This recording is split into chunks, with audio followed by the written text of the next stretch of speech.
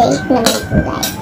Ayan, so, um, let's chow na po guys para po natin malaman kung masarap pa siya or hindi. Of course, with my favorite side dish, ang ating kimchi.